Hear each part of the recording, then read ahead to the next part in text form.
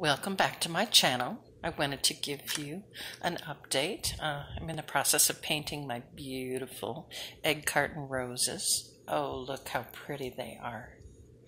Um, I'm, I'm doing this from my bed because my back is on heat. I'm in such pain today. Woke up with a horrific migraine. Just trying to keep down lunch. But anyway, art relaxes me and I'm waiting for my Excedrin migraine to kick in.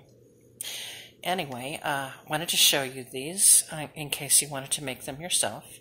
Um, you get the first video on how to make the egg carton roses, and now I'm going to show you how to paint them so that they last a very long time. All right, so I used some um, gesso. Let me just put these down here a second. I used this gesso uh, to paint these roses.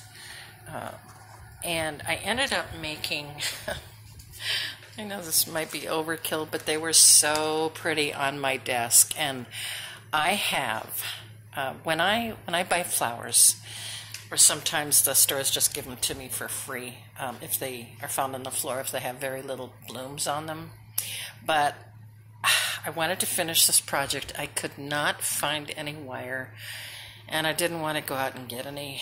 Uh, it's just a pain, but I found these in my stash. I, I take off the blooms, I put like colors in, you know, my stash, and then I save these, and I'm so glad that I did. So these roses are kind of heavy. So what I'm going to be doing is probably, well, if you can see here, uh, there's there's nine per bunch here per bundle. So there's going to be 18 roses, um, and of course you get six per dozen, and six per dozen, six per dozen pack of eggs. So I use three egg cartons. So the first phase is to paint with gesso. Gesso is just basically acrylic paint um, watered down glue, and then it makes it nice and stiff. And the reason I have glue on, uh, the reason I have gloves on one hand is because, you know, obviously wet paint. Learning my lesson there.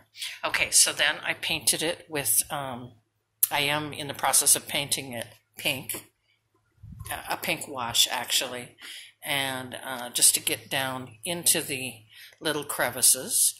And of course, it will make a little bit flimsy because you're watering down the hardened roses. And then uh, I'm going to go ahead and use some color shift paint uh, for the edges. So the third and final coat will be just a touch of this pink, and I'm using, what is this, pink chiffon here. Just cheap paint.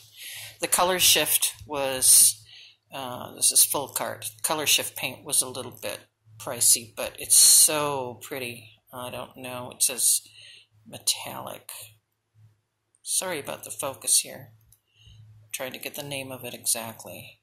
But it is very, very pretty, and I'm going to put those on the edges of these roses. So let me go ahead and can't do this from bed while I'm online here. Uh, but anyway, I'm going to go ahead and paint this with this very watered down mess here. And um, I will put up another video and show you the final product.